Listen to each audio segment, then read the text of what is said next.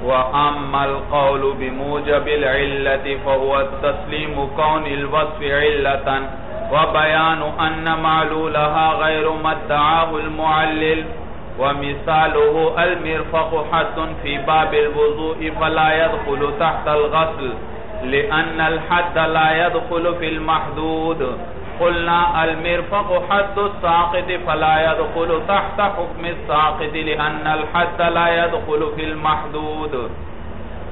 آج دوسرا اعتراض جو قیاس پر وارد ہوتا ہے، اس کے بارے میں ہم پڑھیں گے۔ دوسرا اعتراض کیا ہے قیاس پر وارد ہونے والا؟ القول بموجب العلت۔ قول بموجب العلت موجب العلت، بھائی۔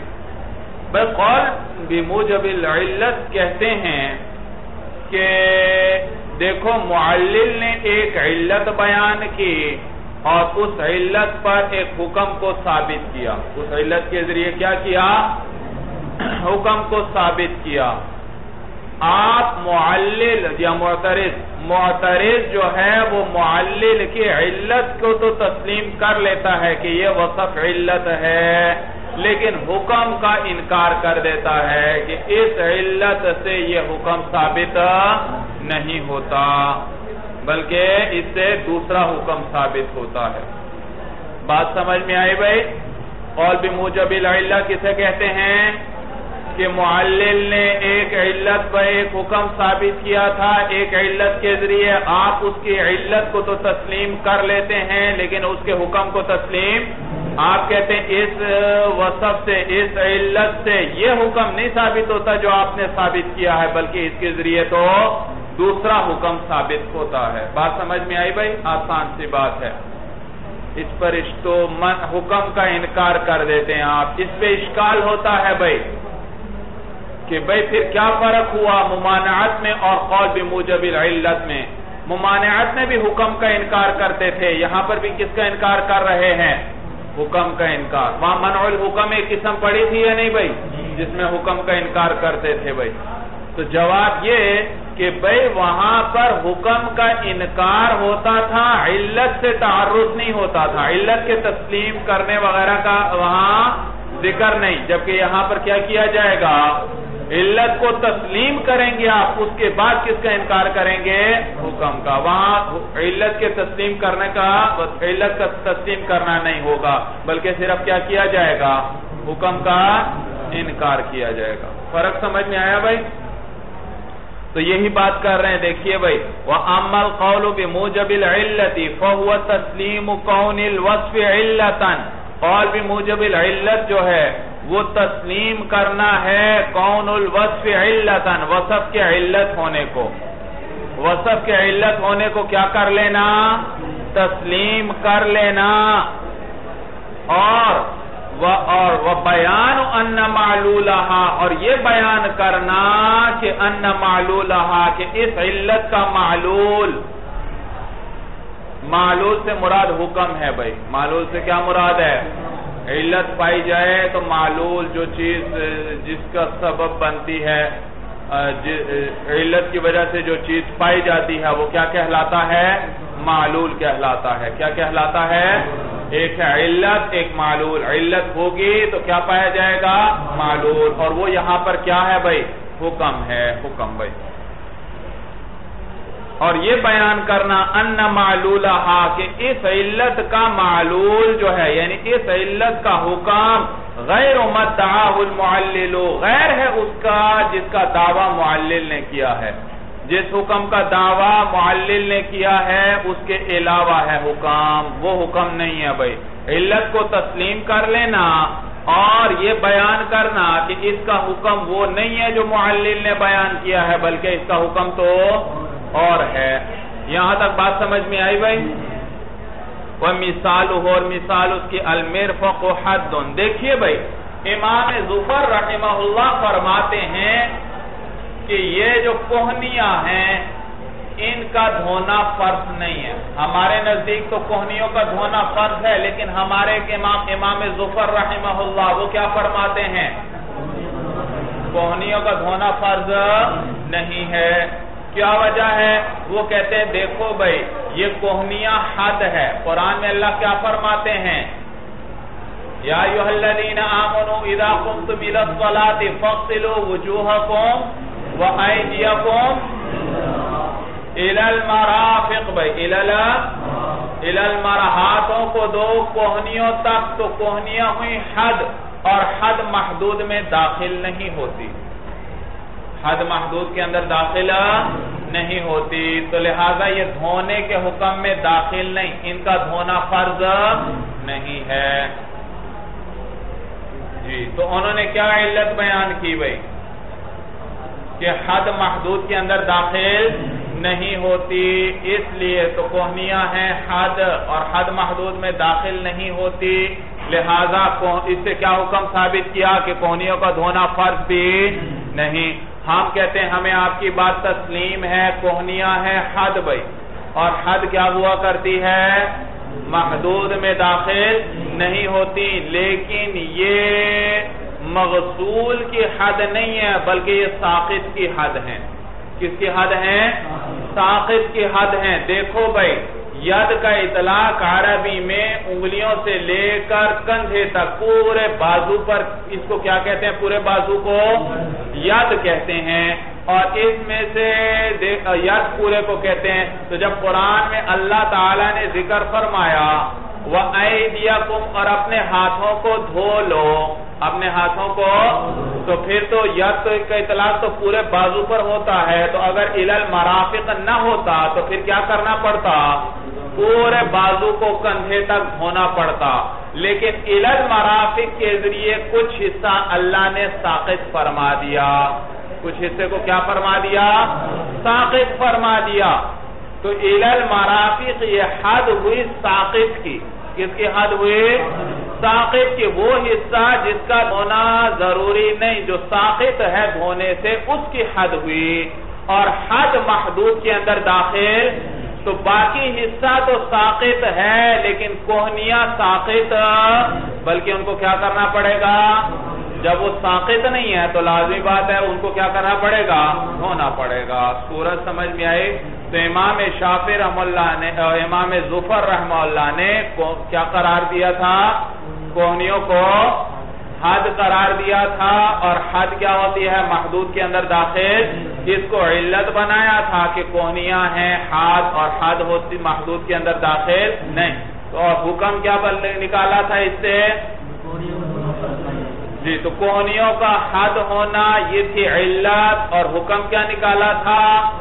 کہ ان کا دھونا فرض ہم نے ان کی علت کو تسلیم کر لیا کہ واقعی کوہنیاں ہیں حد، لیکن ان کا حکم کیا تھا کہ فرض نہیں، ہم نے کیا کہا؟ ان کا دھونا فرض ہے۔ تو دیکھو، ان، وہ حکم جو انہوں نے ثابت کیا تھا، اس کے علاوہ ہم نے کیا کر دیا؟ دوسرا حکم ثابت کر دیا۔ سورج سمجھ میں آئی؟ کہ انہوں نے اس کو بنایا تھا حد مغصول کے لیے۔ ہم نے کس کے ذریعے کس کا، کس کی حد بنا دیا؟ ساقت کی۔ وہ مثال اور مثال اس کی کہ المرفق حد فی باب الوضوء، کوہنی جو ہے، حد ہے وضو کے باب میں۔ فلا يدخل تحت الغسل، تو یہ داخل نہیں ہوگی غسل کے تحت پہ یعنی اس کو دھونا نہیں پڑے گا۔ لئن الحد لا يدخل فی المحدود، اس لیے کہ حد داخل نہیں ہوتی محدود میں یعنی غایہ مغیہ کے اندر داخل نہیں ہوتا۔ قلنا ہم جواب دیتے ہیں، المرفق حد الساقتی کہ کوہنی کس کی حد ہے؟ ساقت کی حد ہے، فلا يدخل تحت حکم الساقتی تو یہ ساقت کے حکم میں داخل نہیں ہوگی۔ اور اب ساقت کے حکم میں نہیں داخل، تو معلوم ہوا کس کے حکم میں داخل ہے؟ مقصول کے، تو اس کو بھی دھویا جائے گا۔ لِأَنَّ الْحَدَّ لَا يَدْخُلُ فِي الْمَحْدُودِ، اس لیے کہ حد محدود میں داخل نہیں ہوتی۔ وَكَذَلِكَ يُقَالُ صَوْمُ رَمَضَانَ، صَوْمُ فَرْضٍ فَلَا يَجُوزُ بِدُونِ التَّعِينِ كَالْقَضَاء جی. دوسری مثال بھئی، قول بموجب العلت کی. امام شافعی رحمہ اللہ فرماتے ہیں کہ جیسے قضا کا روزہ فرض ہے قضا کا روزہ، آپ کا رمضان کا کوئی روزہ مثلا رہ گیا تو اس کی قضا کیا ہے؟ فرض ہے مولانا، تو وہ رمضان کی قضا ہے، وہ بھی فرض ہے بھائی تو قضا کا روزہ فرض ہے اور اس کے لیے تعین ضروری ہے۔ جب وہ روزہ رکھنے لگے تو متعین کرنا ضروری ہے کہ میں فلاں قضا کا روزہ کیا کرنے لگا ہوں؟ رکھنے لگا ہوں۔ تو جب قضا کے روزے میں تعین نیت ضروری ہے، تو اسی پر وہ قیاس کرتے ہیں رمضان کے روزے کو کہ رمضان کا روزہ بھی فرض ہے، تو اس میں بھی تعین نیت ضروری ہوگی۔ روزہ رکھتے ہوئے یہ نیت کرنا ضروری ہوگا کہ میں کیا کرنے لگا ہوں؟ رمضان کا روزہ رکھنے لگا ہوں۔ تو انہوں نے اس پر قیاس کیا اس کو؟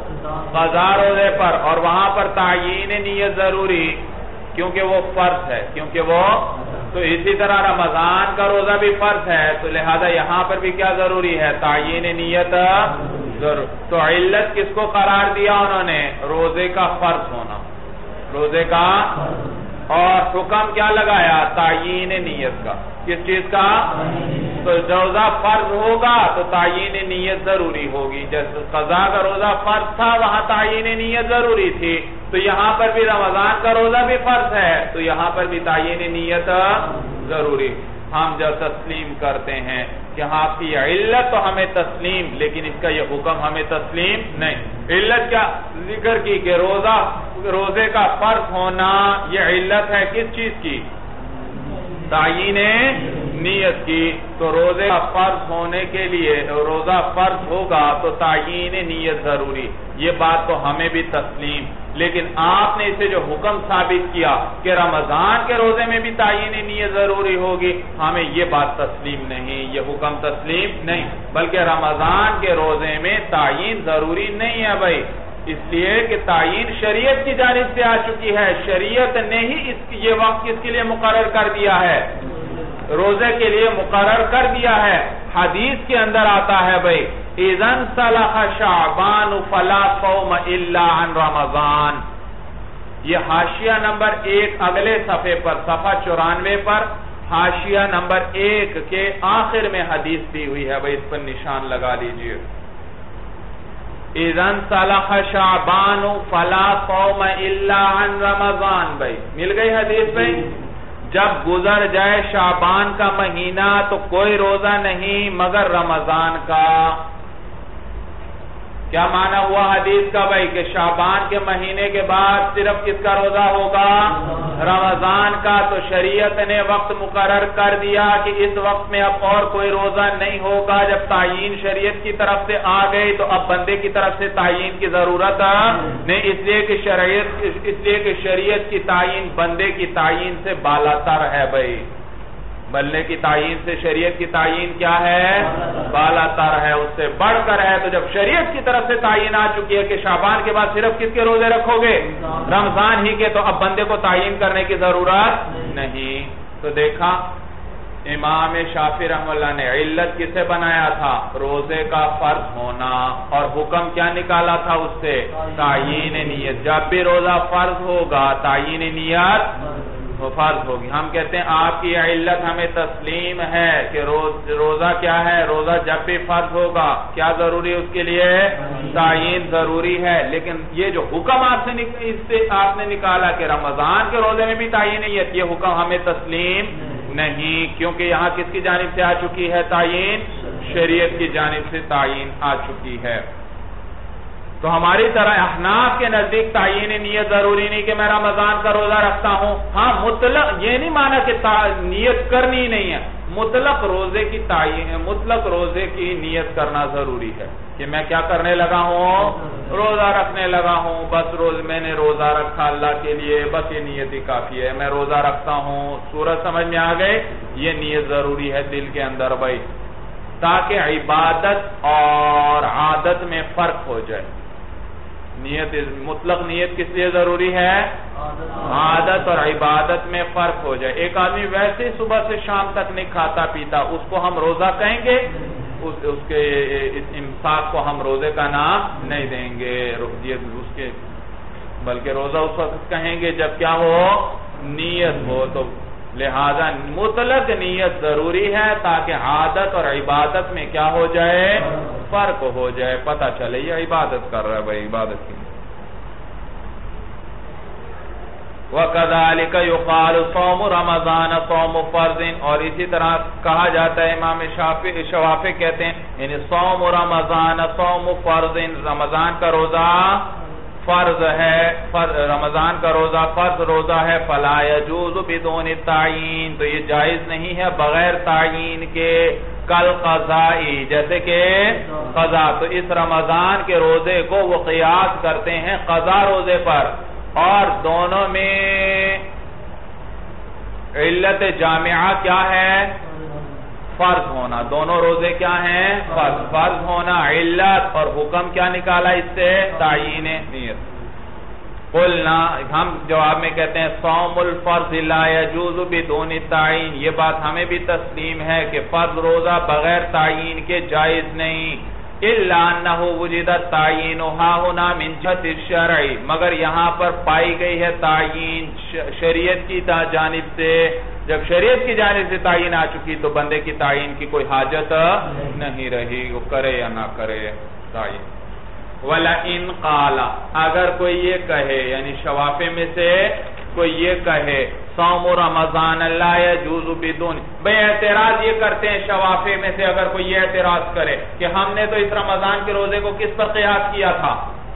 قضا روزے پر۔ اور قضا روزے کے اندر بندے کی طرف سے تعین نیت ضروری ہے۔ تو رمضان کے روزے میں بھی بندے کی طرف سے تعین نیت ضروری ہونی چاہیے۔ قضا روزے میں کس کی جانب سے تعین ضروری؟ بندے کی جانب سے۔ تو رمضان میں بھی کیا ہونا چاہیے؟ بندے ہم کہتے ہیں ہاں ٹھیک ہے، بندے کی طرف سے ہونی چاہیے تھی بھائی تعین، لیکن جب شریعت کی طرف سے آ گئی تو اب ضرورت نہ رہی۔ صورت سمجھ میں آئی؟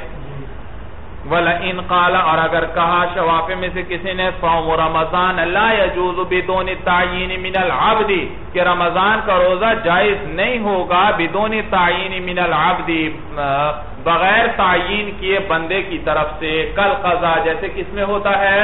اس میں بھی بندے کی طرف سے تعین ہوتی ہے۔ تو جب ہم نے اس پر قیاس کیا تھا تو وہاں بندے کی طرف سے تعین ضروری تھی، تو یہاں بھی تعین ہونی چاہیے۔ قلنا، ہم کہتے ہیں، لا يجوز القضاء بدون تعین، کہ قضا جائز نہیں ہے بغیر تعین کے، الا ان تعین، الا ان تعین لم يثبت من جهه من جهه الشرع في القضاء فلذلك يشترط تعین العبد۔ جی۔ کہ قضا روزہ جائز نہیں ہوگا بغیر تعین کے، مگر چونکہ وہاں تعین ثابت نہیں ہوئی ہے شریعت کی جانب سے قضا میں فلزالکال اسی لیے یشترط تعین العبدی وہاں پر شرط لگائی جائے گی بندے کے تعین کی۔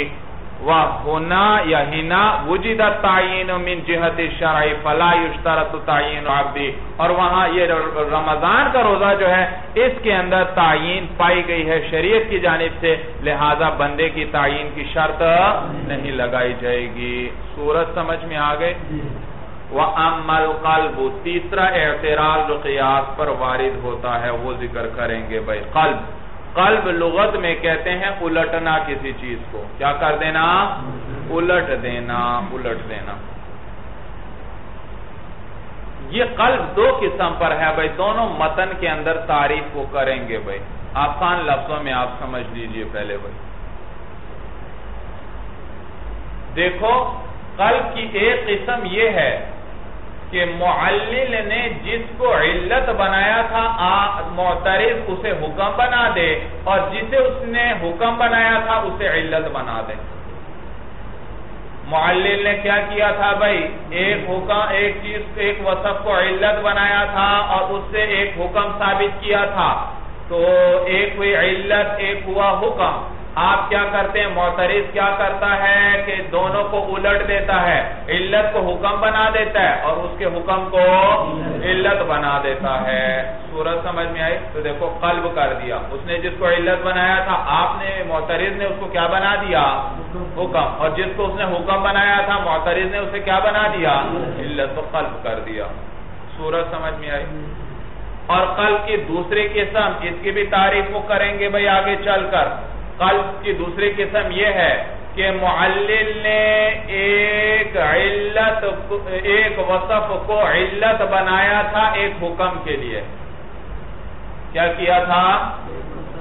ایک وصف کو علت بنایا تھا حکم کے لیے۔ معترض بتلاتا ہے کہ یہ علت یہ وصف یہ وصف جو ہے اس حکم کے لیے علت نہیں ہے، بلکہ اس حکم کی ضد کے لیے علت ہے۔ اس کے مثلا اس نے ایک علت کے ذریعے حرمت ثابت کی تھی بھائی۔ کیا ثابت کی تھی؟ حرمت ثابت کی تھی۔ آپ کہتے ہیں کہ یہ علت حرمت کی نہیں ہے، بلکہ یہ تو علت ہے کس چیز کی؟ علت کی۔ تو دیکھا، آپ نے اسی علت کے ذریعے کس کو ثابت کر دیا؟ اس کی ضد کو۔ صورت سمجھ میں آ رہی ہے بھائی؟ تو قلب دو قسم پر ہوا۔ دیکھیے بھائی۔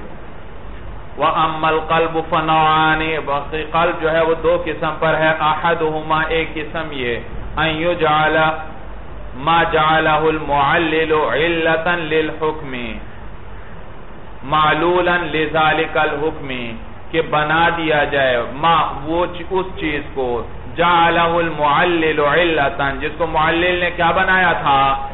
جس کو معلل نے علت بنایا تھا، اس کو کیا بنا دیا جائے؟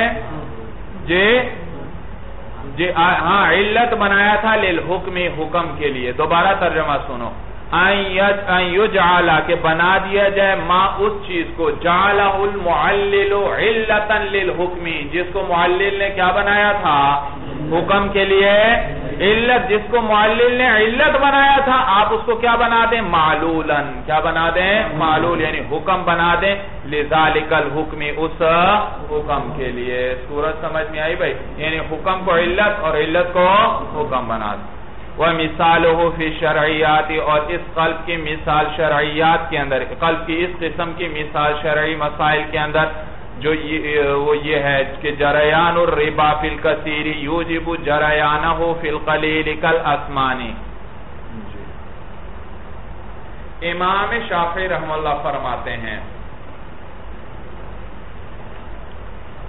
امام شافعی رحم اللہ فرماتے ہیں کہ کثیر مال میں، کثیر کے اندر ربا کا جاری ہونا یہ علت ہے قلیل میں ربا کے جاری ہونے کے لیے۔ کثیر کے اندر کیا؟ کثیر میں ربا کا جاری ہونا یہ علت ہے کس چیز کی؟ قلیل میں ربا کے جاری ہونے کی۔ جب کثیر میں ربا جاری ہوتا ہے تو لازمی بات ہے پھر قلیل میں بھی کیا جاری ہوگا؟ ربا۔ چنانچہ وہ فرماتے ہیں، سمن جو ہے، سمن، سونا، چاندی، درہم، دنانیر وغیرہ بھائی، ان کے اندر کثیر میں ربا جاری ہوتا ہے۔ کثیر میں کیا ہوتا ہے؟ اگر کمی بیشی کرو گے تو کیا آ جائے گا؟ ربا۔ تو ان کی کثیر مقدار میں ربا جاری ہوتا ہے۔ اور کثیر میں ربا جاری ہو تو پھر یہ علت ہے قلیل میں بھی کیا ہوتا ہے ربا؟ لہذا ان کی قلیل مقدار، تھوڑی سی مقدار ہو، اس کے اندر بھی کیا جاری ہوگا؟ ربا جاری ہوگا، لہذا وہاں بھی کمی بیشی کرنا صحیح نہیں۔ تو سونا چاندی جب بھی بیچیں گے بھائی، کیسے کریں گے؟ سونے کے بدلے سونا ہے وغیرہ، تو کیا کریں گے بھائی؟ برابری کی جائے گی۔ کیا کی جائے گی؟ برابری۔ جب کثیر کے اندر ربا جاری ہوتا ہے تو قلیل میں بھی کیا جاری ہوگا؟ تو امام شافر والا نے علت کسے بنایا؟ کثیر میں ربا کا جاری ہونا۔ یہ علت اور حکم کیا ہے؟ قلیل میں بھی ربا کا جاری ہونا۔ اسی پر اب وہ قیاس کرتے ہیں، غلے کو بھی۔ کہ غلے کے کثیر میں ربا جاری ہوتا ہے، تو قلیل کے اندر بھی کیا جاری ہوگا؟ ربا، لہذا ایک مٹھی گندم کی بے کرنا، دو مٹھی گندم کے ساتھ یہ بھی جائز نہیں، کیونکہ اس میں بھی کیا جاری ہوگا؟ ربا جاری ہوگا بھائی۔ سورج سمجھ میں آئی بھائی؟ اس میں بھی کیا جاری ہوگا؟ ربا جاری ہوگا بھائی، کیونکہ جب کثیر غلے میں ربا جاری ہوتا ہے تو قلیل میں بھی ربا جاری ہو اور ایک مٹھی، دو مٹھی قلیل ہے، لیکن کثیر میں چونکہ ربا جاری ہوتا ہے، اس میں بھی ربا آئے گا، لہذا برابری نہیں پائی گئی، تو ایک مٹھی گندم کو، دو مٹھی گندم کے بدلے بیچنا جائز نہیں۔ سورج سمجھ میں آئی بھائی؟ ہم اس کا قلب کرتے ہیں۔ امام شافی رحم اللہ نے کیا پر علت کسے بنایا تھا؟ کثیر میں ربا کا جاری ہونا۔ ہم اس کا قلب کرتے ہیں۔ جی علت کسے بنایا تھا انہوں نے؟ کثیر میں ربا کا جاری ہونا اور حکم کیا بنایا تھا؟ قلیل میں ربا کا جاری ہونا، ہم عکس کر دیتے ہیں۔ ان کی علت کو ہم حکم بنا دیتے ہیں اور ان کے حکم کو کیا بنا دیتے ہیں؟ ہم کہتے ہیں، بلکہ قلیل میں ربا کا جاری ہونا، یہ علت ہے کس کی؟ کثیر میں ربا کے جاری ہونے کی۔ کثیر میں ربا۔ تو قلیل میں چونکہ ربا جاری ہوتا ہے، اس لیے کثیر میں بھی کیا ہوگا؟ ربا جاری ہوگا۔ سونے چاندی کی تھوڑی مقدار کے اندر کمی بیشی ہو، اس میں بھی ربا جاری ہوتا ہے۔ اس لیے کثیر میں بھی کیا ہوگا؟ ربا جاری۔ اور غلے کے اندر، قلیل مقدار کے اندر ربا جاری ہوتا ہے۔ اس لیے کثیر کے اندر بھی کیا جاری ہوگا؟ ربا جاری ہوگا۔ ربا جاری ہوگا۔ سمجھ میں آیا؟ لیکن ایک مٹھی گندم کی بے دو مٹھی گندم کے ساتھ کرنا جائز ہے۔ اس لیے کہ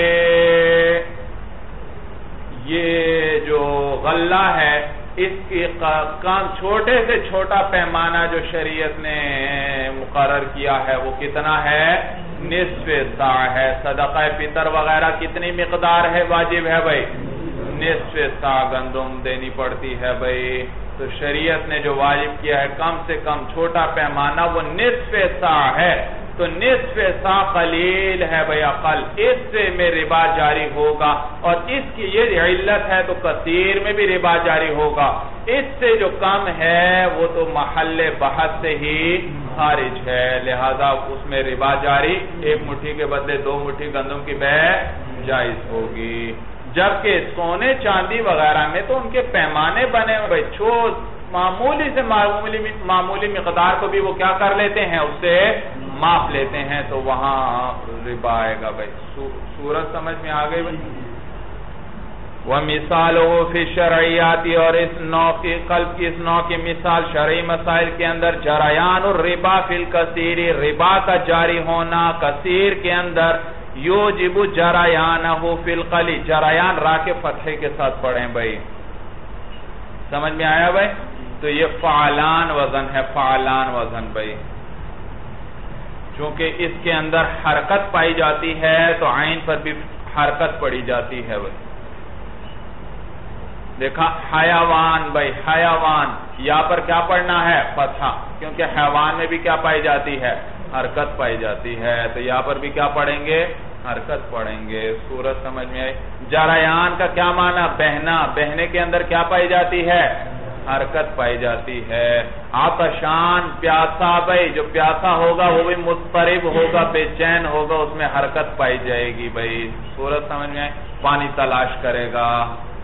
غضبان، اس میں بھی دیکھو حرکت پائی جائے گی، جو غصے میں ہوگا، غضب میں ہوگا، اس کو بھی سکون نہیں آئے گا۔ کیا کرے گا؟ حرکت میں آئے گا۔ اچھا بھائی۔ کیا بات ہو رہی تھی؟ جی تو امام شافی رحم اللہ فرماتے ہیں جریان الربا فی القصیر یوجب جریانہو فی القلیلی کہ کثیر کے اندر ربا کا جاری ہونا یہ واجب کرتا ہے، قلیل میں بھی ربا کے جاری ہونے کو، کل اسمانی جیسے کس میں ہوتا ہے؟ سمن، تو سمن ہوئے مقیس علیہ اور یہ غلہ کیا ہوا؟ مقیس فَيَحْرُمُ بَعُ الْحَفْنَةِ مِنَ التَّعَامِ بِالْحَفْنَتَيْنِ مِنْهُ پس حرام ہوگا بے کرنا ایک حفنہ کی من التَّعَامِ غلے میں سے۔ بِالْحَفْنَتَيْنِ دو دو حفنہ کے ساتھ، دو مٹھی کے ساتھ مِنْهُ غلے میں سے۔ قلنا ہم جواب دیتے ہیں، لابل جریان الربا فی القلیل یوجب جریانہو فی الکثیر، بلکہ ربا کا جاری ہونا قلیل کے اندر۔ یہ واجب کرتا ہے کثیر کے اندر بھی ربا کے جاری ہونے کو کل اسمان جیسے کس کے اندر ہے؟ سمن میں بھئی سونے چاندی میں قلیل کے اندر چونکہ ربا جاری ہوتا ہے، اس لیے کثیر میں بھی کیا ہے؟ ربا جاری ہوگا۔ غلے کے اندر بھی قلیل کے اندر ربا جاری ہوتا ہے، اس لیے کثیر میں بھی کیا ہوگا؟ ربا جاری ہوگا۔ اور وہ قلیل قلیل مقدار کتنی ہے؟ نصف سا جو شریعت نے بتلائی ہے۔ وہ سب سے چھوٹا پیمانہ۔ سورت سمجھ میں آگئے بھائی۔ وَقَذَالِكَ فِي مَسْأَلَةِ الْمُلْتَجِئِ بِالْحَرَامِ اسی طرح ملتجی بالحرام کے مسئلے میں یہ دوسری مثال ذکر کر رہے ہیں۔ یاد رکھو، مسئلہ یہ ہے کہ اگر حرام کے اندر کوئی شخص جنایت کر لے، کوئی جرم کر لے بھائی، تو با اتفاق ایمہ اربع و جمہور اس سے حرم کے اندر ہی قصاص لیا جائے گا۔ اس سے اس کی سزا دی جائے گی حرم کے اندر ہی بھائی۔ قتل کیا ہے تو اسے بھی قتل کیا جائے گا۔ ہاتھ کاٹا ہے تو اس کا بھی کیا کیا جائے گا؟ ہاتھ کاٹا جائے گا وغیرہ۔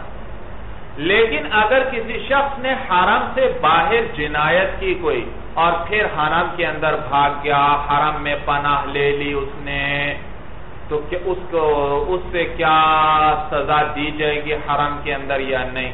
اس میں تھوڑی سی تفصیل ہے بھائی۔ امام شافعی رحم اللہ اور اسی طرح امام مالک رحم اللہ فرماتے ہیں ہاں حرم کے اندر ہی اس کو سزا دی جائے گی۔ قتل کر کے بھاگا ہے تو حرم میں گرفتار کر کے کیا کر دیا جائے گا؟ قتل کر دیا جائے گا۔ ہاتھ پاؤں کسی کا کاٹ کر بھاگا ہے تو حرم کے اندر ہی کیا کیا جائے گا؟ قصاص لیا جائے گا اور اس کے بھی ہاتھ پاؤں کو کاٹا جائے گا۔ جبکہ ہمارے نزدیک عند الاحناف، اور اسی طرح امام احمد ابن حنبل رحمہ اللہ کے نزدیک بھائی اس میں اگر وہ جنایت اس نے کیا کی ہے؟ کوئی ہاتھ پاؤں کاٹا ہے یعنی نفس کی جنایت نہیں کی، بلکہ عضو کی جنایت وغیرہ کی ہے۔ تو پھر تو حرم ہی میں پکڑ کے اس سے قصاص لیا جائے گا، اس کے بھی ہاتھ پاؤں کو کیا کر دیا جائے گا؟ کاٹ۔ لیکن اگر وہ کسی نفس کو قتل کر کے اس نے حرم میں پناہ لی ہے، تو اس صورت میں اس کو قتل حرم میں نہیں کیا جائے گا، گرفتار حرم میں نہیں کیا جائے گا بھائی۔ بلکہ اس کا وہاں پر کھانا پینا بند کر دیا جائے گا۔ لوگوں کو کہا جائے گا، اس سے قطع تعلق کرو، نہ اس سے کوئی بات کریں، نہ اس سے کوئی بہ کریں، نہ اس سے کوئی اور معاملہ کریں، نہ کوئی کھانے پینے کی چیز دے اسے۔ یہاں تک کہ یہ مجبور ہو جائے حرم سے نکلنے پر اور حرم سے جب باہر نکلے گا تو پھر اس کو کیا کر لیا جائے گا؟ گرفتار کر کے اس سے قصاص لیا جائے گا۔ سورت سمجھ میں آئی؟ عند شوافے کیا ہوا؟ دونوں صورتوں میں کیا کیا جائے گا؟ قصاص ہو یا جنایت اعضاء کے قصاص کا بدلہ ہو، دونوں صورتوں میں حرم کے اندر ہی اس سے بدلہ لے لیا جائے گا، سزا دے دی جائے گی۔ جبکہ ہمارے نزدیک جی؟ اگر نفس قتل کر کے گیا ہے تو قصاص حرم کے اندر نہیں لیا جائے گا، بلکہ اسے باہر نکلنے پر۔ ہاں اور کوئی اور جنایت کی ہے، کوئی عضو وغیرہ کاٹا ہے اور جرم کیا ہے، تو پھر اس کی سزا حرم کے اندر ہی دے دی جائے گی۔ صورت سمجھ میں آگئے تو امام شافی رحم اللہ اس کو قیاس کرتے ہیں۔ کس پر؟ شکار پر۔ کس پر قیاس کرتے ہیں؟ شکار۔ وہ فرماتے ہیں کہ شکار کرنا حرام ہے حرم کے اندر بھائی۔ حرم کے اندر شکار کرنا۔ تو جیسے حرم کے اندر شکار کرنا حرام، اسی طرح شکار کا کوئی عضو کاٹنا بھی حرام۔ کوئی جانور کو شکار نہیں کر رہا، صرف کیا کرنا کر رہا ہے بھائی؟ صرف عضو کاٹتا ہے، اس کو قتل نہیں کرتا۔ تو بھائی بھائی، یہ عضو کا کاٹنا بھی کیا ہے؟ حرام۔ تو وہ حرمت نفس کو علت بناتے ہیں اور حرمت اطراف کو حکم بناتے ہیں۔ حرمت اطراف کو کیا بناتے ہیں؟ کس کو علت بنایا؟ حرمت نفس کو علت بنایا۔ اور حرمت اطراف کو کیا بنایا؟ حکم بنایا، بھائی۔ کہ چونکہ شکار کے اندر حرمت نفس ہے بھائی، شکار کے اندر کیا ہے؟ اس کو قتل کرنا جائز نہیں۔ تو جب حرمت نفس ہے تو پھر حرمت اطراف بھی ہوگی، کیونکہ حرمت نفس علت ہے اور حرمت اطراف اطراف یعنی آزا بھائی آزا اور حرمت آزا کیا ہو گیا؟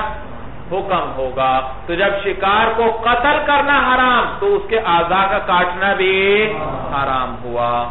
تو کس کو انہوں نے علت بنایا؟ حرمت نفس کو۔ اور حکم کیا نکالا اس سے؟ حرمت اطراف بھائی۔ حرمت اطراف سے کیا مراد ہے؟ آزا بھائی۔ جب جیسے نفس کا حرام ہے، اس کا قتل کرنا، اسی طرح اس شکار کے آزا کاٹنا بھی حرام ہے۔ تو یہ ہوا مقیس علیہ بھائی۔ اور اسی پر قیاس کرتے ہیں اس عاصی کو بھی بھائی، اس گناہگار کو بھی، کہ اس کے اندر بھی کیا ہے؟ جی حرمت نفس نہیں ہے۔ اگر یہ قتل کر کے آئے تو اس کو کیا کیا جائے گا؟ قتل کیا جائے گا۔ قتل کریں گے یعنی ان کے نزدیک؟ تو جب حرمت نفس نہیں ہے اس کے لیے حرم کے اندر، تو حرمت اطراف بھی نہیں۔ لہذا اگر ہاتھ وغیرہ کسی کا کاٹ کر آیا ہے، تو اس کا بھی کیا کیا جائے گا؟ ہاتھ کاٹا جائے گا۔ مسئلہ سمجھ میں آ رہا ہے بھائی؟ تو حرام میں اس عاصی کے لیے حرمت نفس نہیں ہے، تو حرمت اطراف بھی نہیں۔ قتل کر کے آیا ہے تو جب قتل کیا جائے گا، تو پھر اگر کسی کے ہاتھ پاؤں کاٹ کر آیا ہے تو اس کا بھی کیا کیا جائے گا؟ ہاتھ پاؤں کاٹا جائے گا۔ یا اور کوئی ایسا جرم کر کے آیا ہے جس کی وجہ سے اس کا کیا کیا جائے گا؟ ہاتھ پاؤں کاٹا جائے گا۔ سورج سمجھ میں آ گئی بھائی؟ تو انہوں نے کس کو علت بنایا؟ حرمت نفس کو۔ اور کس کو حکم بنایا؟ حرمت نفس کو علت بنایا اور حرمت اطراف کو حکم بنایا حکم بنایا۔ ہم کہتے ہیں، نہیں بھائی، حرمت نفس علت نہیں ہے، بلکہ حرمت اطراف علت ہے۔ اور حرمت نفس کیا ہے؟ حکم ہم نے قلب کر دیا بھائی۔ ہم نے کس کو علت قرار دے دیا؟ حرمت اطراف کو۔ اور کس کو حکم بنایا؟ حرمت نفس کو حکم بنا دیا۔ تو جیسے ہم کہتے ہیں شکار میں۔ شکار کا چونکہ عضو کاٹنا حرام ہے، اس لیے اس کو قتل کرنا بھی حرام۔ تو حرمت اطراف ہے علت اور حرمت نفس کیا ہے؟ حکم ہے۔ شکار کا عضو کاٹنا حرام، تو اس کی جان لینا بھی حرام بھائی۔ سورج سمجھ میں آ گئی۔ تو اسی طرح انسان کے آسی کے اندر بھی ہے۔ اس نے جب پناہ لی ہے حرم کے اندر، تو علت ہم نے کس کو بنایا؟ حرمت اطراف۔ تو اس کے لیے حرمت اطراف نہیں۔ اس کے کیا کیا جائے گا؟ ہاتھ پاؤں کو کاٹا جائے گا۔ تو اس کے لیے حرمت نفس بھی نہیں ہونی چاہیے تھی۔ لیکن حرمت نفس ہم نے نفس کی وجہ سے ثابت کر دی۔ نفس قرآن میں اللہ فرماتے ہیں، من دخلہ کان آمینہ جو اس حرم میں داخل ہو جائے گا، وہ کیا ہے؟ امن والا ہے معمون ہے۔ تو لہذا اس عاصی اور مجرم کے اندر حرمت اطراف نہیں ہے اور حرمت اطراف کا نہ ہونا علت ہے کس چیز کی؟ حرمت نفس کے نہ ہونے کی۔ لہذا اس کی حرمت نفس بھی نہیں ہونی چاہیے تھی۔ اس کو حرم ہی میں پکڑ کے کیا کرنا چاہیے تھا؟ قتل کرنا چاہیے تھا۔ لیکن ہم نے کیا کہا کہ اس کو وہاں پر قتل نہیں، اس کو گرفتار نہیں کیا جائے گا، باہر نکلنے پر مجبور کیا جائے گا۔ نفس کے سلسلے میں کیوں؟ کیونکہ اس سلسلے میں نفس آ چکی ہے۔ من دخلہ کانا آمینہ جو اس میں داخل ہوا، وہ کیا ہے؟ امن والا ہے، امن والا ہے۔ سورج سمجھ میں آگے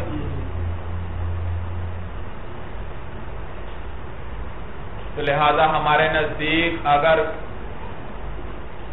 جنایت ایسی کی ہے جس میں ہاتھ پاؤں کاٹا جائے گا، تو اس کے ہاتھ پاؤں کو حرم ہی میں کاٹ لیں گے۔ اور اگر ایسی جنایت کی ہے جس سے اس کے قتل کرنا ہے، تو نفس ہے۔ تو قصاص وغیرہ ہے اس پر، تو اس کو کیا کیا جائے گا؟ مجبور کیا جائے گا کہ یہ باہر نکل آئے اور پھر باہر اس کو گرفتار کر کے کیا دی جائے گی؟ سزا دی جائے گی۔ سورت سمجھ میں آئی بھائی؟ اس پر اشکال ہوتا ہے۔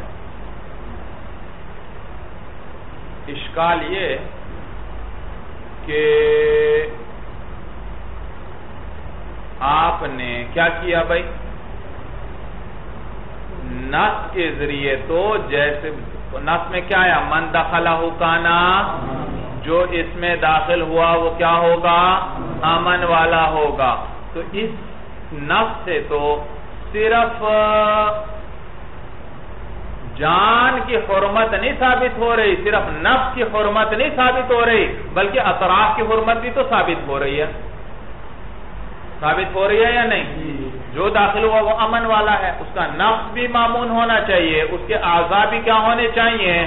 معمون ہونے چاہیے، لیکن اے احناف، آپ کیا کرتے ہیں؟ کہ نفس کے معمون ہونے کو تو اس سے ثابت کرتے ہیں، اطراف کے معمون ہونے کو ثابت نہیں کرتے۔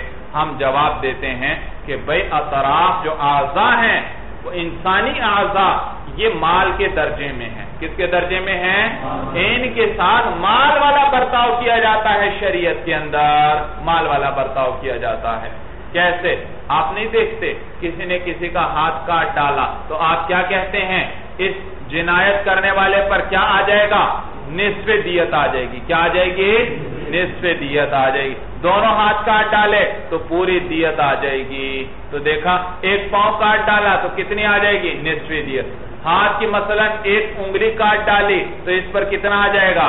دیت کا دسواں حصہ آ جائے گا۔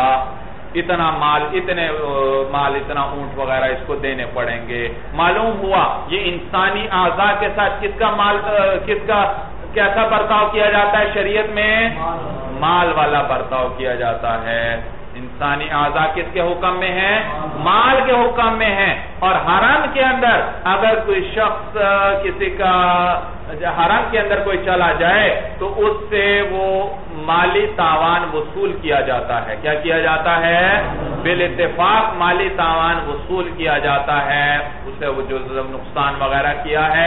تو یہاں پر بھی یہ مال والا حکم آزا پر بھی ہم نے جاری کیا کہ یہ بھی مال کے حکم میں ہے، یہ بھی اس سے کیا کیا جائے گا؟ اب وصول کیا جائے گا اور اس کے ہاتھ پاؤں کو کیا کیا جائے گا؟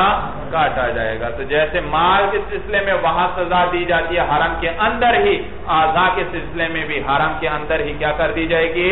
سزا دے دی جائے گی۔ مال والا ہی حکم اس کا بھی ہے۔ سورج سمجھ میں آ گئے بھائی؟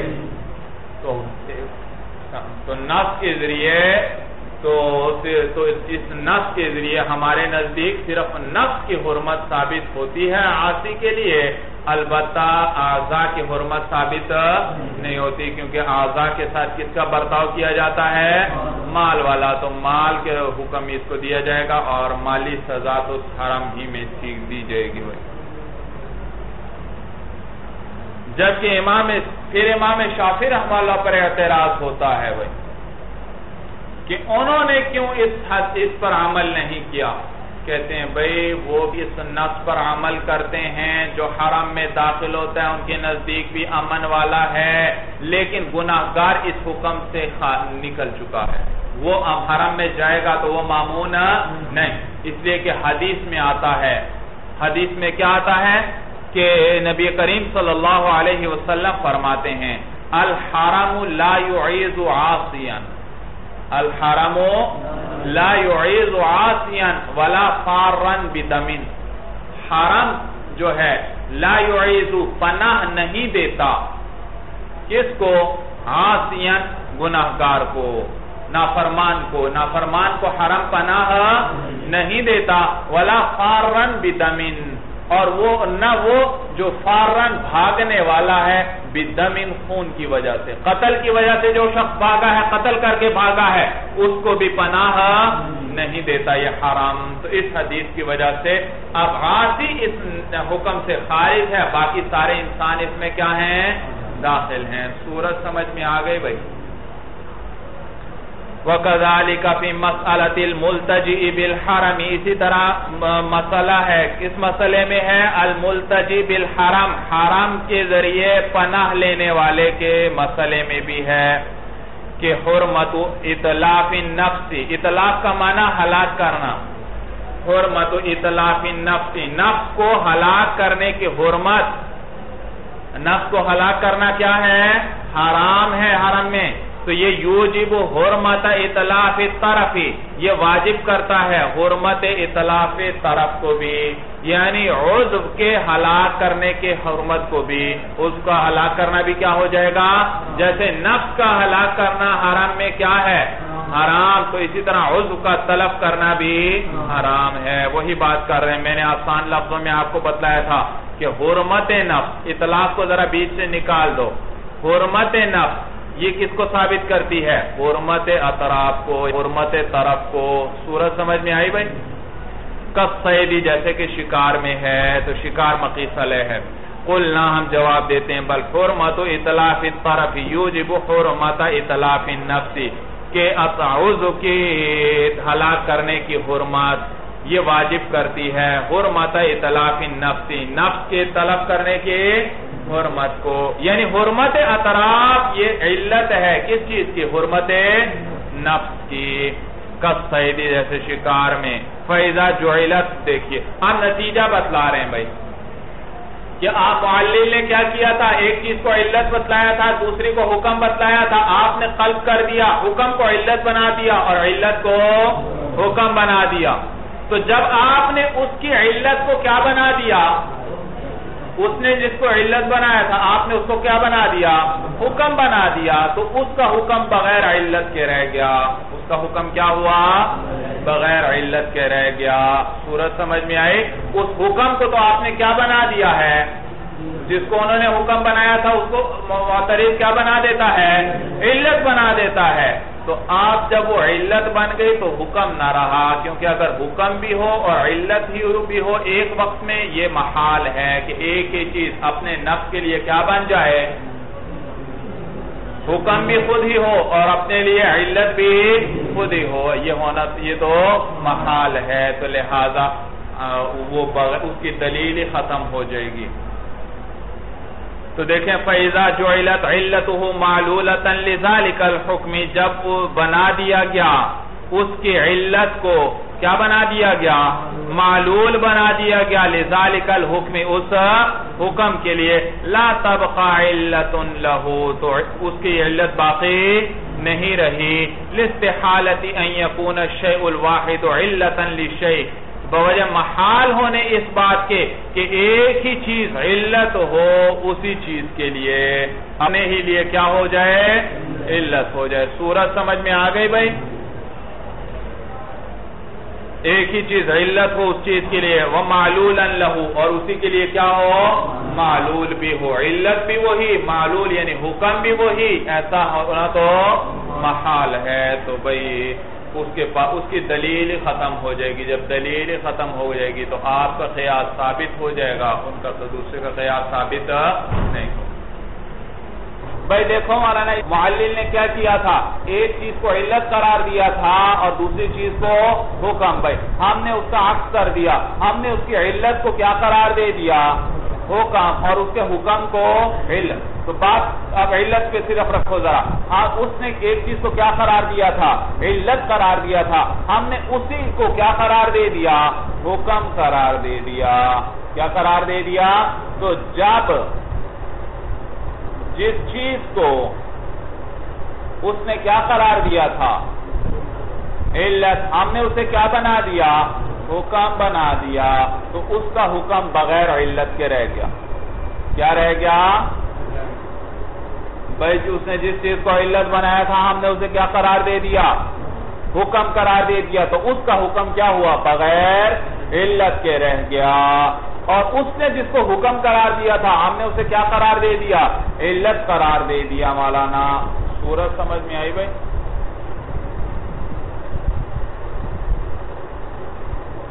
تو لہذا جب ہم نے اس کے علت کو کیا قرار دے دیا؟ حکم قرار دے دیا۔ تو اب اس کے حکم کے لیے کوئی علت ہی باقی نہ رہی۔ اس لیے کہ یہ بات محال ہے کہ ایک چیز اپنے ہی لیے علت کو مولانا۔ ایک چیز اپنے ہی لیے کیا بن جائے؟ علت بن جائے۔ بھائی دیکھو مولانا، یہ اول ہے، یہ ثانی ہے۔ اول کو اس نے کیا برقرار دیا تھا؟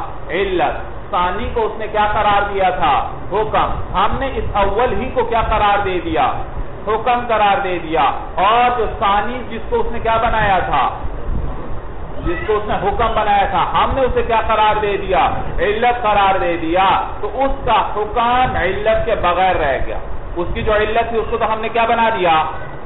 اس کے علت کو ہم کیا بنا چکے؟ حکم۔ اور اس کا حکم اب بغیر علت کے باقی ہے۔ اور اس کے اسی حکم کو ہم نے کیا بنایا تھا؟ علت۔ تو وہ خود اپنے لیے علت ہو سکتا ہے۔ ایک چیز خود خود ہی حکم بھی ہے اور خود ہی اپنے لیے علت بھی ہے۔ ایسا ہو سکتا ہے؟ نہیں۔ اس کے حکم کو ہم نے علت قرار دے دیا مولانا۔ تو وہی چیز جو جس کو وہ حکم قرار دے رہا تھا۔ بعین ہی اسی چیز کو ہم نے علت قرار دے دیا۔ تو ایک ہی چیز، ایک ہی آن کے اندر حکم بھی ہو، علت بھی ہو، ایسا ہو سکتا ہے؟ نہیں ہو سکتا۔ تو لہذا اس کا حکم بغیر علت کے رہ گیا۔ بات بھی سمجھ میں آئی بھائی کہ نہیں آئی؟ نہیں آئی۔ اچھا تو پوچھا کرو اچھا۔ تو بھائی دیکھو معلل نے ایک چیز کو علت قرار دیا تھا، دوسرے کو حکم قرار دیا تھا، ہم نے اسی کی علت کو کیا قرار دے دیا؟ حکم قرار دے دیا۔ جب اس کی علت کو ہم نے حکم قرار دے دیا، تو جو اس کا حکم تھا، اس کی کوئی علت باقی رہی؟ اس کی علت کو تو ہم نے کیا بنا دیا؟ حکم بنا دیا۔ صورت سمجھ میں آئی؟ تو اس کا حکم بغیر علت کے رہ گیا۔ بغیر اچھا۔ اور آگے چلو، ہم نے جس کو اس نے حکم قرار دیا تھا، ہم نے اس کو کیا بنایا ہے؟ علت۔ تو اس کا حکم ہے بغیر علت کے۔ تو چلو بھائی، اب ایک صورت یہ رہ گئی کہ جس کو ہم نے علت بنایا ہے، اسے بنا دو اس کے لیے علت۔ لیکن ہم نے تو علت اسی حکم کو بنایا ہے۔ تو حکم بھی وہی علت بھی وہی۔ تو ایک ہی حکم کے لیے اب خود حکم ہی کیا بن رہا ہے؟ علت۔ ایک چیز کے لیے خود اپنی ذات ہی علت بن رہی ہے۔ ایک ہی چیز خود حکم بھی ہو، علت بھی ہو، ایسا تو صحیح نہیں ہو سکتا۔ صورت سمجھ میں آئی بھائی؟ فَإِذَا جُعِلَتْ عِلَّتُهُ مَعْلُولَةً لِذَلِكَ الْحُكْمِ۔ جب اس کے علت کو معلول یعنی حکم بنا دیا گیا بھائی بس اس جب اس کے علت کو معلول بنا دیا گیا، اس حکم کے لیے لا تبقى علت لہو، تو اس حکم کے لیے کوئی علت باقی نہ رہی۔ لستحالت اس لیے کہ بات محال ہے۔ یکون شیء الواحد علتا لشیء ومعلولا لہو، کہ ایک ہی چیز، اس چیز کے لیے علت بھی ہو ومعلولا لہو، اور اس کے لیے معلول بھی ہو۔ یعنی اپنے لیے ایک چیز خود ہی کیا ہو والا نا علت کو، خود حکام، خود علت، یہ محال ہے، یہ نہیں ہو سکتا۔ ہمیشہ علت اور معلول ایک دوسرے سے غیر ہوا کرتے ہیں۔ لیکن یہاں پر کیا خرابی لازم آئے گی اس نے ایک چیز کو علت بنایا تھا اور دوسری چیز کو اس نے کیا بنایا؟ حکم بنایا تھا۔ اور ہم نے اس کی علت کو تو کیا قرار دے دیا؟ حکم۔ علت کا تو مسئلہ ختم ہوا۔ اب اس کا صرف کیا باقی ہے؟ حکم اور اسی حکم کو ہم نے کیا قرار دے دیا ہے؟ علت. تو گویا اس حکم کے لیے وہی علت بن گئی اور حالانکہ اسی حکم کے لیے تو وہی علت نہیں. ہمیشہ معلول اور علت ایک دوسرے سے غیر ہوا کرتے ہیں. معلول بھی وہی چیز، علت بھی وہی چیز. ایسا کبھی بھی نہیں. یہ محال ہے مولانا. جی تو بات سمجھ میں آ گئی بھائی؟ وہ نو ثانی من القلب اور نوع ثانی قلب کی جو ہے بھائی کیا قسم دکھوائی تھی قلب کی قسم ثانی بھائی؟ کہ محلل نے کیا کیا تھا؟ ایک چیز کو علت قرار دیا اور اس کے لیے کیا ثابت کیا؟ ایک حکم ثابت کیا۔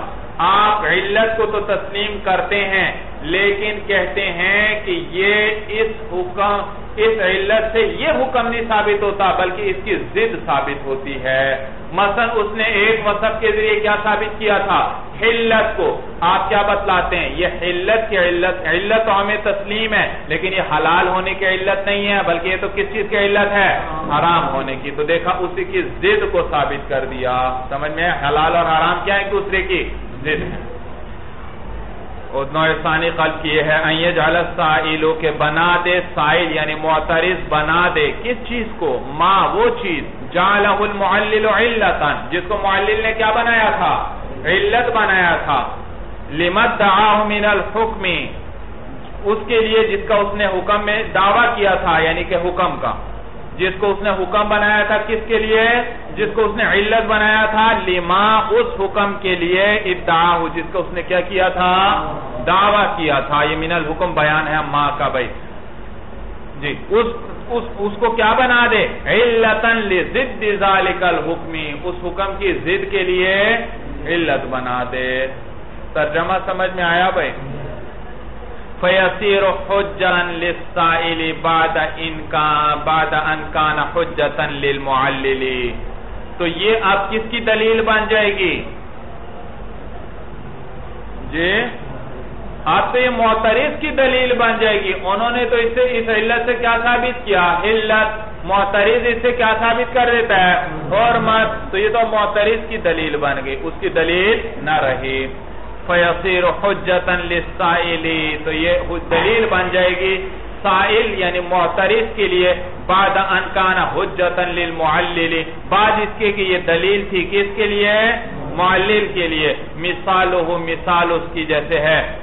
کہ صوم رمضان صوم فرض رمضان کا روزہ کیا ہے؟ فرض ہے۔ شافے کہتے ہیں کہ رمضان کا روزہ فرض ہے۔ اور فرض روزے کے لیے کیا ہونا ضروری؟ تعین تعین نیت ضروری ہے۔ تو لہٰذا یہ رمضان کا روزہ فرض، تو اس سے کیا اس کے لیے تعین نیت بھی ضروری ہے۔ ہم کہتے ہیں رمضان کا روزہ فرض، اسی لیے اس کے لیے تعین نیت ضروری نہیں۔ دیکھا، انہوں نے کہا تھا تعین ہے، ہم نے کہا تعین نہیں، تو اس کے ضد کے لیے اسی کو علت بنا دیا۔ کیوں نہیں؟ کیوں تعین ضروری نہیں؟ اس لیے کہ تعین کس کی جانب سے آ چکی ہے؟ شریعت کی جانب سے۔ مسئلہ سمجھ میں آیا بھائی؟ مثال ہو سوم رمضان سوم فرض رمضان کا روزہ فرض ہے فیوشترت تعین لہو تعین اس کے لیے ضروری شرط ہوگی کل قضائی جیسے کس کے اندر ہے؟ قضا میں ہے۔ قلنا، ہم جواب دیتے ہیں، لما کان سوم فرض سوم فرضن جب روزہ فرض تھا، فرض ہے، تو لا یشترت تعین لہو تو اس کے لیے تعین کی شرط نہیں لگائی جائے گی۔ بعد اما تعین اليوم لہو، بعد اس کے جبکہ اس کے لیے کیا ہو چکا ہے متعین؟ دین اس کے لیے جب شریعت کی طرف سے متعین ہو چکا ہے، تو اب آپ کی طرف سے تعین کرنے کی ضرورت نہیں۔ تو تعین ایک مرتبہ چاہیے۔ جب تعین آ چکی ہے شریعت کی طرف سے، تو اب بندے کی طرف سے تعین ضروری نہیں۔ جیسے قضا کے اندر ہے کہ قضا کے اندر بھی اگر آپ پہلے سے تعین کر دیتے ہیں، تو دوبارہ تعین کی ضرورت نہیں۔ قضا میں تعین نیت ضروری ہے کہ میں کیا کرنے لگا ہوں؟ قضا کا روزہ رکھ رہا ہوں اور رمضان میں جو میرا روزہ قضا ہوا تھا وہ رکھ رہا ہوں، تعین ضروری ہے۔ لیکن اگر آپ نے پہلے تعین کر دی، آج ہی آپ نے کہہ دیا کہ میں کل یا پرسوں جو ہے میں کیا کروں گا؟ یا فلاں دن میں کیا کروں گا؟ قضا روزہ رکھوں گا۔ تو اس دن صرف مطلق روزے کی نیت ضروری ہوگی، تعین کی ضرورت، کیونکہ تعین ایک دفعہ آ چکی ہے۔ سورج سمجھ میں آئی؟ تو ہم نے کہا، قلنا لما کان صوم فرضا، جب روزہ فرض ہے تو لا یشترط التعین له، تو اس کے لیے تعین کی شرط نہیں لگائی جائے گی۔ بعد اما تعین اليوم له، بعد جبکہ اس کے لیے دن متعین ہو چکا ہے شریعت کی جانب سے۔ کل قضائی جیسے کس میں ہے قضا کے قضا کے اندر بھی جب دن متعین ہو جائے تو پھر دوبارہ تعین کی ضرورت نہیں پڑتی۔ تو دیکھو بھائی، شوافع نے تعین نیت کے لیے علت کیا ذکر کی تھی؟ فرض روزہ ہونا۔ کیا ہونا؟ کہ چونکہ روزہ فرض ہے، یہ علت اور حکم کیا؟ تعین نیت بھائی۔ روزہ جب بھی فرض ہوگا تعین نیت کا ہونا ضروری۔ تو دیکھ، کس چیز کو انہوں نے علت قرار دیا؟ فرض روزے کے، فرض روزے کو علت بنایا۔ کس چیز کی؟ حکم، علت کیا ہوئی؟ فرض روزہ۔ اور حکم کیا ہوا؟ تعین نیت مولانا۔ تو ہم نے اسی فرض روزے کو علت بنایا۔ تعین نیت کے لیے نہیں، بلکہ عدم تعین۔ انہوں نے کہا تھا فرض روزہ ہے تو تعین ہونی چاہیے۔ ہم نے کہا فرض روزہ ہے تو تعین نہیں ہونی چاہیے۔ جب ایک دفعہ تعین ہو چکی مولانا۔ سورج سمجھ میں آ گئی؟ دیکھو انہوں نے اس کو فرض روزے کو علت بنایا تھا تعین نیت کے لیے۔ ہم نے اس کی ضد کے لیے یعنی عدم تعین کے لیے کیا بنا دیا؟ اس کو علت بنا دیا، علت بنا دیا کہ جب ایک دفعہ تعین ہو چکی ہے تو دوبارہ تعین نہیں کی جائے گی۔ جیسے جیسے قضا کے اندر ایک دفعہ پہلے سے تعین کر لی جائے تو دوبارہ تعین کی ضرورت نہیں ہوتی۔ تو یہاں پر بھی پہلے سے شریعت کی جانب سے تعین ہو چکی ہے تو دوبارہ بندے کی طرف سے تعین کی کوئی ضرورت نہیں بھائی۔ تو اس کے ذریعے بھائی دیکھا، روزے کا فرض ہونا اس کو علت بنایا تھا اور اس کے لیے حکم کیا ثابت کیا تھا انہوں نے؟ تعین نیت کا۔ اور ہم نے اسی علت کے ذریعے، کس کو ثابت کیا؟ اس کی زد کو یعنی تعین نیت کا نہ ہونا۔ سورج سمجھ میں آگئے بھائی، یہ قلب کی دوسری قسم تھی۔ چلیے، بس مولانا حاضر المرام. اللہ علم حقیقت الکلام۔